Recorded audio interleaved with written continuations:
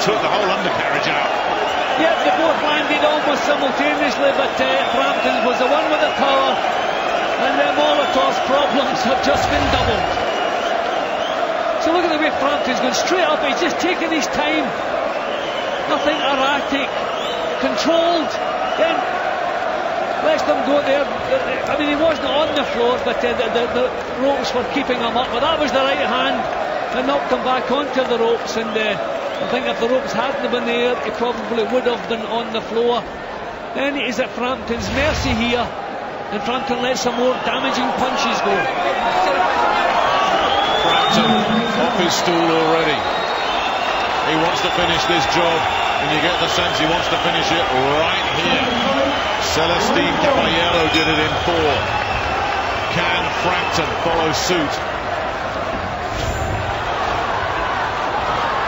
Right now Steve Molitor is fighting for his career, and that career might be about to end. Even at the physical strength of Frampton, Molitor can't cope with it. He's been bullied when he tries to grab hold. Frampton's shrugging him off.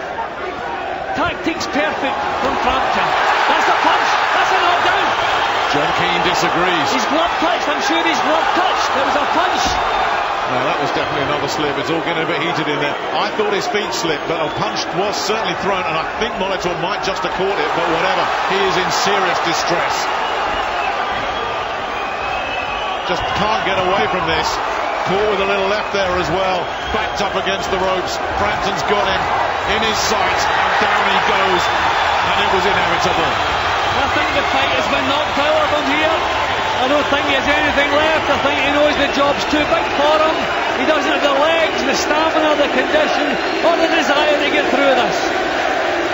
They're chanting easy, easy. And there is still so long left, and all Molitor can do is just hold on and hope that this storm, this tempest, is going to blow itself out.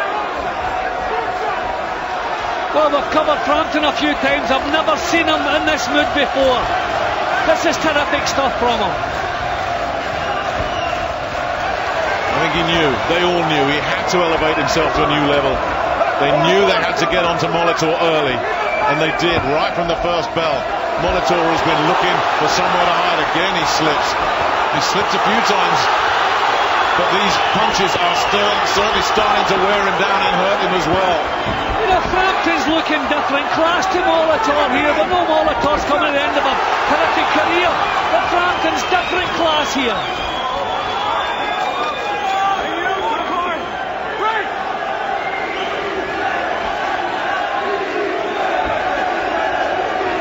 Molitor just trying to survive, trying to buy some time. But how on earth can he change the flow of this one?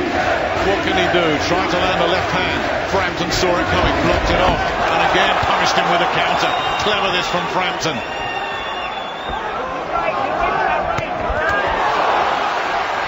That was just a survival mode for Molitor. He knows he can't inflict any damage. He just his fighter's pride. He wants to see how long he can hang on in there. But he knows no victory here tonight. And how much more of this does he want? How much more can he take? Oh, just getting through there with a little straight left. The Canadian. That was a good left hand. He landed straight shot and he needed something badly. Another huge round for Frampton. that's bullshit. He's an ice Relax. hockey fan. Give me a towel. He's like he's on ice skates sometimes in there, this fella. Yeah, well, that was it. The, the shot caught him above the ear. The glove touched down. I would have called it a knockdown. The punch landed on the ear. So quite fortunate it wasn't called a knockdown. But uh, Frampton poured on the pressure, kept the punches flowing. And he's just the boss. He's, he's just the bully in there tonight. But again, just taking his time, picking his spots. Nothing erratic. Cool head for such a young fighter in such a big fight. Terrific stuff from him. And we see him backed up against the ropes, don't we, Jim? And obviously, it's not where he wants to be, but it's the sheer force of will, really, coming from Frampton that's just pushing him there. There is nowhere else for Steve Molitor to go. He is being bullied and intimidated out of this one. He survived round four. How much more of this can he take? He looked poor for the first uh, four or five rounds against Booth, then he got himself he seemed to waken up and get himself into this, but this is totally different. He's been dominated here, he's been hurt. And Booth was never a big super bantamweight. Frampton is.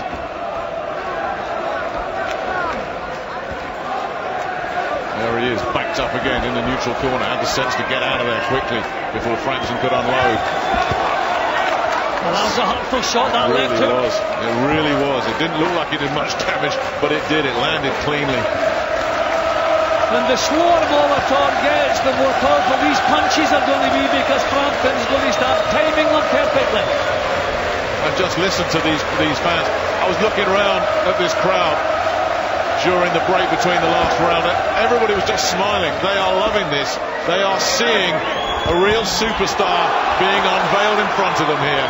You can see Frampton working out how to go about this, how to make sure the punches that he throws are going to find a target. He's taking his time, he's looking, he's, he's feinting with both hands before he decides which one to let go. This is terrific from the young man.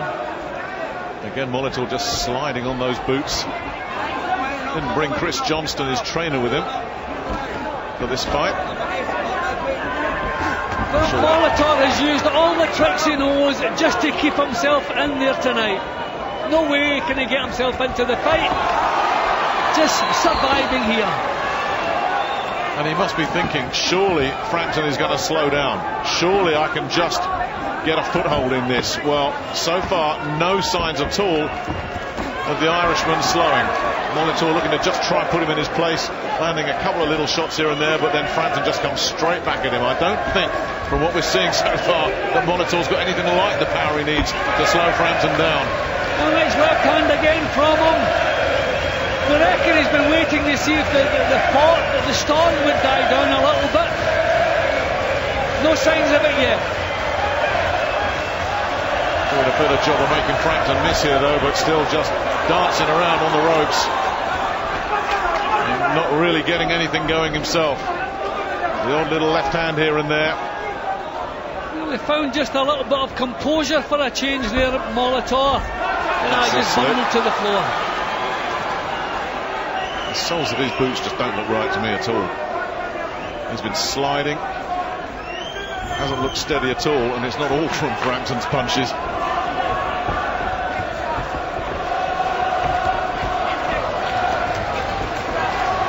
In the corner again, but he survives another round. Boxing on Sky Sports, sponsored by Betfair. There is banter between the teams in practice. Friday morning, different ball game. In the Ryder Cup, no, it's far too important. It will be difficult in America. It always is. The crowd in America are very vocal, very loud,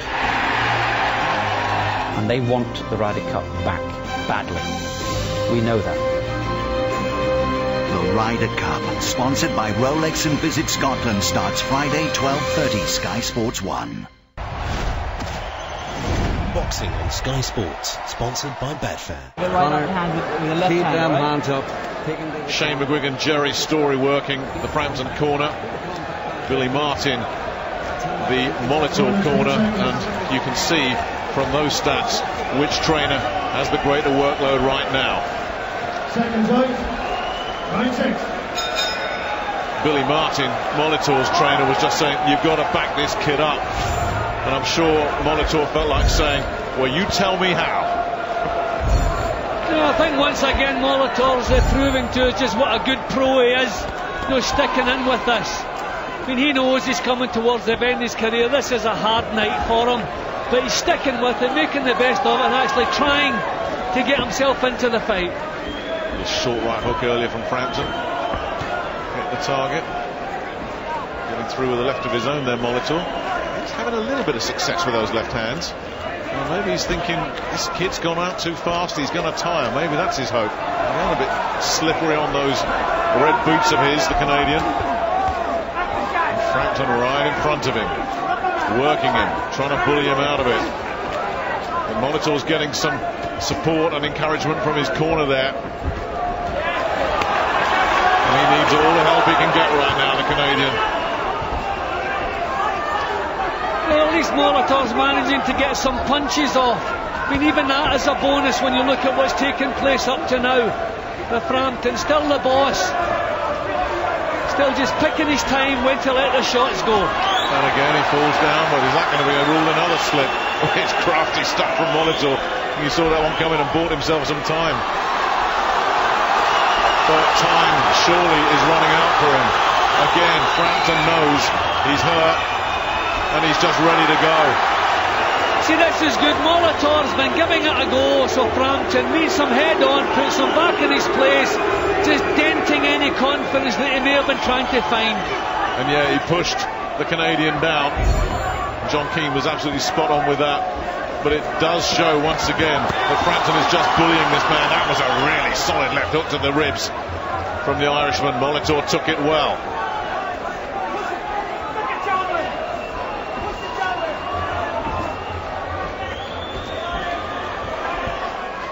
There's blood from somewhere. It's all over the torso of the Canadian. And down he goes again. He's just Oh, yeah, worn down. this time. It's all going desperately wrong for Steve Molitor. That cut looks like it's around the other ear, and John Keane says enough is enough. And Carl Frampton, welcome to the big league. What a performance against the man who's had 10 world title fights. Carl Frampton made him look like a novice. That was special. Very special indeed. Well, a couple of times uh, working on Frampton's fights, I've called for a little bit more fire in his performance. I'm not calling for that tonight. That was phenomenal. Right from the off, you could see how fired up he was uh, du- during the introductions. As soon as the first bell sounded, he got on Molitor's case, did not leave him alone until referee John Keane waved off. Tremendous performance, heading towards world class. We're going to dent the performance. What did Molitor have left? We don't know because Carl Frampton didn't give him a chance to show us. Total domination, terrific performance from young Carl Frampton.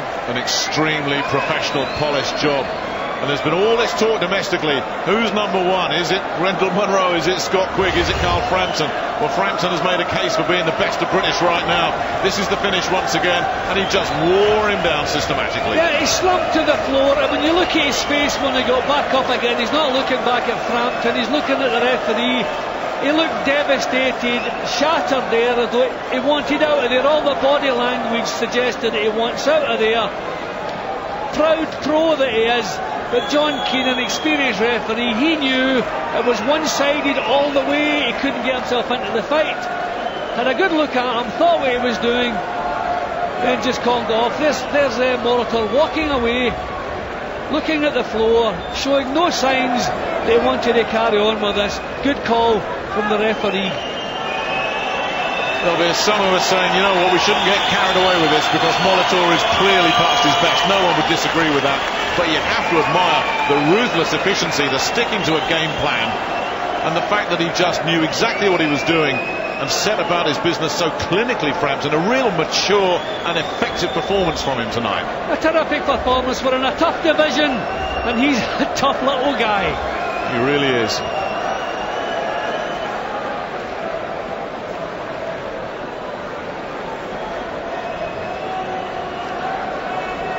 Brought everyone to their feet. They so enjoyed that, this audience here at the Odyssey Arena. They know what they've seen the unveiling of a new Irish superstar.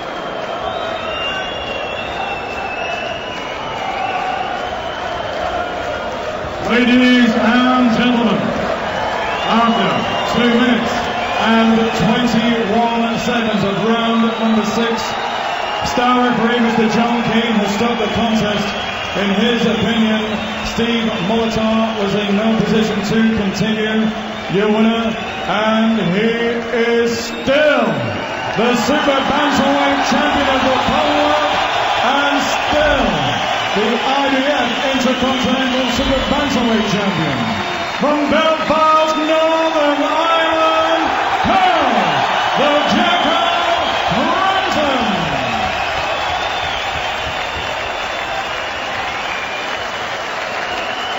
Carl Frampton, enjoy the moment. That was classy, that was efficient.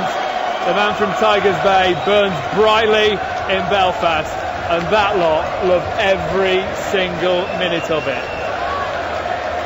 We'll hear from him in a couple of minutes' time on this fantastic fight night, and more live action coming your way as we feature former British featherweight champion Martin Lindsay. He's on the way live next.